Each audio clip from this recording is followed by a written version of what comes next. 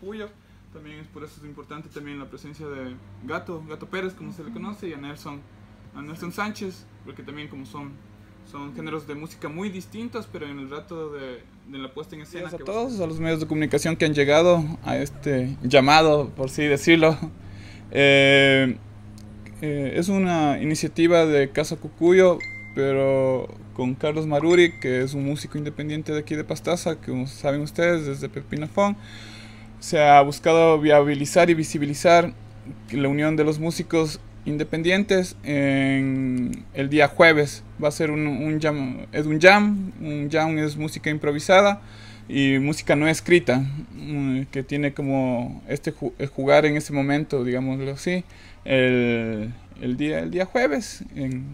va a haber un concierto de improvisación, digamos así, y sería como digamos que sería como el primero, ¿no? Sí. Como el primero así de, de este nivel tan grande, como 10 músicos en escena también, de diferentes géneros musicales. ¿De qué géneros, eh, hay como Nelson Sánchez, que es uno de ellos, es de metal, de heavy metal progresivo. Eh, también Gato Pérez, también que es de eh, balada pop, música pop. Ajá, también está Loredi también que es de freestyle, como más de hip hop. Eh, también está DJ Causa que es más de vinilos. También está Diego Isurieta, también que es más... Eh, el toca de todo igual, es como que ahora está dentro, del eh, dentro de, la, de lo que es música electrónica. Y ah, Carlos mismo que es de Pepinos Funk también, así es como que unir de todos los géneros musicales y y sacar un solo género esa misma noche. Por eso es muy importante que la, la ciudadanía de Pastaza y de Puy especialmente que, venga y vea esto, que es una propuesta de jóvenes para la ciudadanía también.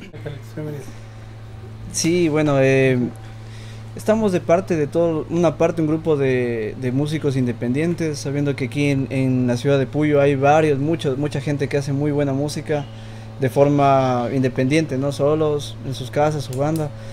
Eh, estamos un grupo de 10 amigos, colegas músicos que nos unimos con, junto a Omar, con Casa Cucuyo para hacer Runa Cuna Express. Es un jamming puyense que, que se trata de que cada uno, que cada músico se, se, monta en, la, en la escena y comienza a improvisar.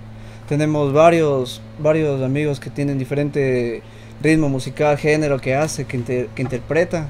Así que eso va a estar muy chévere, va a estar muy muy bueno, mucha mucha gente increíble, músicos que lo hacen, que se que se van a desenvolver.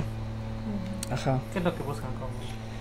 Eh, bueno, buscamos es la unión entre, entre, entre todos los amigos músicos, entre toda la gente. Igual también saber, saber que hacer entender a la gente de Puyo que aquí hay mucha buena música, mucho arte, pero no hay espacios. Esos son espacios que estamos buscando, que que los artistas se empoderen de la Casa de la Cultura, de, esos únicos espacios que nos brindan, porque fuera increíble que se haya, una concha acústica haya un lugar donde cada uno monte, monte teatro, monte danza, pintura, exposiciones de pintura. Aquí no se ve nada de eso, no hay, no hay cultura. Y más que todo unir entre amigos, entre amigos músicos, para ver cómo, cómo hacemos, hacemos música, ¿no? igual terminar el mes con, con algo chévere fuera de, de, lo común. Es el primer jamming, recalcando eso, el primer jamming que estamos haciendo. Eh, nada, les esperamos. ¿Este eh, programa está dentro de, de, las fiestas de agosto, mes del turismo? No, es totalmente independiente. ¿Qué pasó? ¿Ustedes de pronto no acudieron a la municipalidad también para que tengan apoyo en el evento? No, la verdad es algo que tomamos fuera de eso. Pienso yo que no, no, no fue así, no, no, nunca buscamos tampoco pero tampoco se nos abrió, se hubo la propuesta. Si hubiéramos dicho esto, hubieran dicho, eran que nos digan en mayo, así, siempre es lo mismo. Y es como que mejor hacer algo entre amigos, cada uno, cada uno va a llevar sus cosas, sus, sus herramientas de, por ejemplo, lleva su guitarra, eh, Nelson lleva su guitarra, su amplificador, sus pedales, lo que vaya a tocar. Es como que cada uno va poniendo un granito, un aporte, ¿entienden? Es como que cada uno lleva sus cosas para hacerlo bien, dejar todo fuera. Nosotros no, es algo totalmente autogestionado. Por eso igual tiene un valor simbólico de 3 dólares la preventa y el día del evento, la función, 5 dólares. Eso. Nelson Sánchez. ¿De cuál grupo? Oblivion Side. Cuéntanos, Bueno, eh, básicamente la iniciativa de hacer esto me parece muy interesante ya que, como decía Carlos, Omar, eh, aquí en la provincia, en la ciudad, existen muchos músicos con mucho talento, igualmente existen buenas agrupaciones, agrupaciones que han salido fuera de la provincia y que por falta de lo, falta de escena aquí independiente o espacios donde se puedan expresar, no se ha podido mostrar esa música a, a la ciudadanía, al público en general.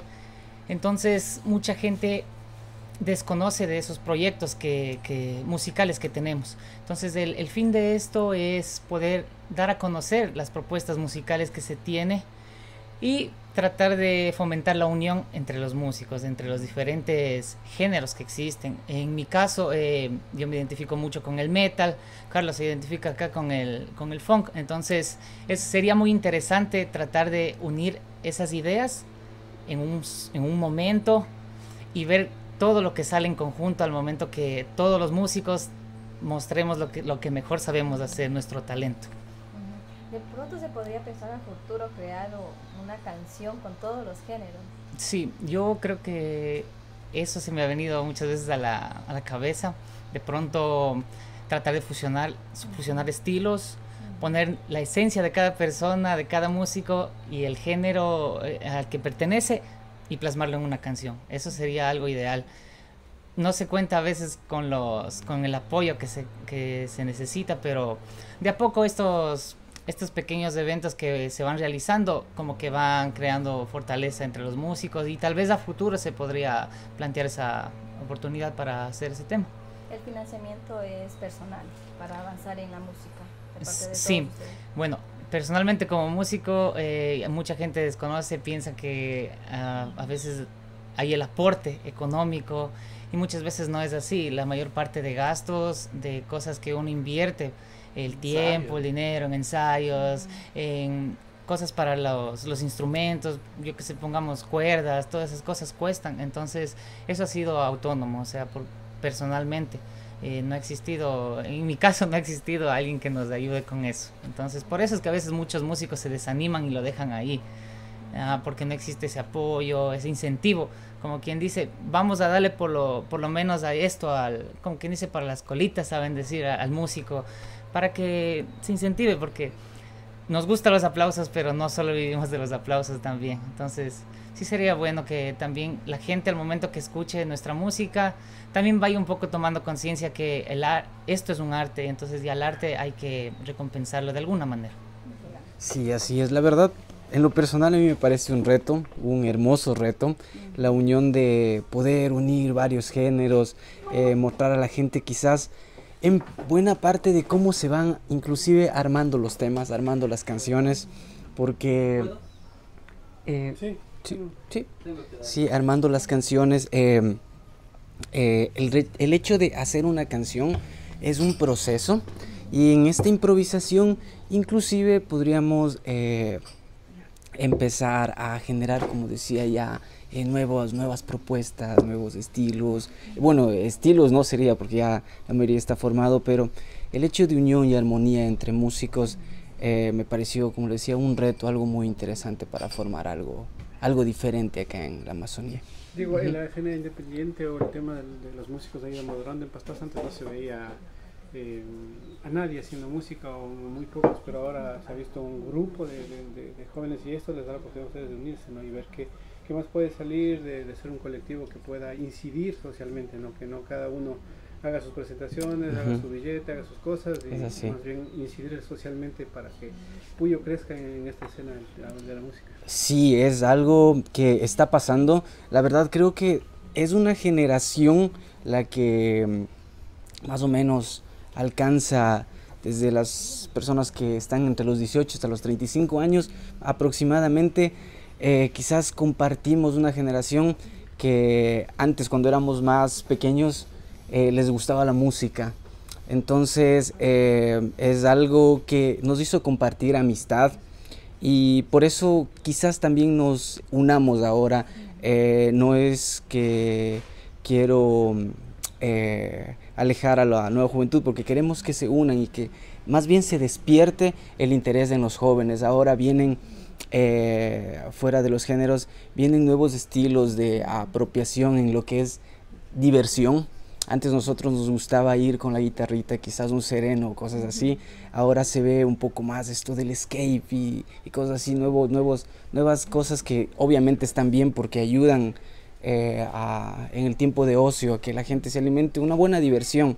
Y como les decía, es una época que nosotros quizás compartimos en lo que es en la música y eso que igualmente muy agradecido de poder ser parte de, del, equipo que ahora se está formando y compartir diferentes géneros. De pronto ustedes tienen estadísticas de cuántas bandas musicales existen en Pastaza, cuántos artistas de este tipo de género nuevo que tenemos. Eh, la verdad, no creo, cada vez veo inclusive en redes sociales que hay niños que salen, que están, y más bien toca apoyarles de alguna manera, porque ese quizás es una buena oportunidad también para seguir levantando esos datos. Exactamente. sí. Diego, cuando ustedes eh, salen a presentaciones, porque conocemos que estos grupos tienen presentaciones a nivel provincial y algunos también ya han avanzado también más allá. Eh, ¿Cómo se sienten en el momento de decir que son de Puyo representando, son embajadores del turismo de acá? Bueno, es espectacular, es hermoso poder decir que somos de la Amazonía. Eh, quizás eh, hay veces que pasa, creo que lo hemos compartido todos los músicos, que hacemos mucha honra a lo que es nuestras culturas de acá y en otros diferentes lugares nos dicen, a veces ha pasado, que ¿por qué te sacaste el taparrabo? Cosas así. y eso es hermoso para nosotros, es hermoso poder decir que hay diferentes culturas, géneros y todo, que hay mucha riqueza aquí en la Amazonía de todo. La invitación para que sí, bueno, el día jueves. Están todos invitados el día 30 de agosto a este jam, a compartir con todos los músicos de acá, que estaremos ese día y que puedan asistir con sus hijos, eh, padres, con todos los que deseen el día 30 a las 7 de la noche. ¿Estoy bien? Sí, a las 7 de la noche. Okay.